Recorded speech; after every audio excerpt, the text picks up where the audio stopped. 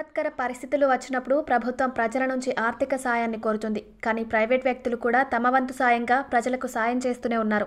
ఇప్పుడు corona second wave వల్ల ఎంతో మంది అత్యవసర పరిస్థితుల్లో ఆక్సిజన్ ఆహారం వైద్య సదుపాయం అందడం లేదు. అందుకే తమ వంతు ఉదారతగా from you to them OR kindness వంటి స్వచ్ఛంద సేవా సంస్థలు వీటి కోసం కృషి చేస్తున్నారు.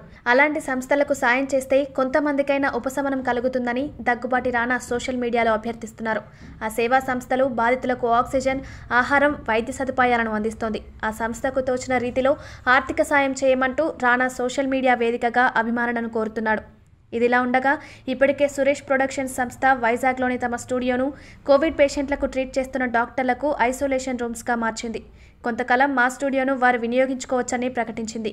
ఇప్పుడు రానా కూడా తన వంతు సాయంగా ముందుకు వచ్చాడు. హాయ్ యోస్! ఛానల్ను సబ్స్క్రైబ్ చేయడం మర్చిపోవద్దు. గంట కొట్టడం అస్సలు మర్చిపోవద్దు.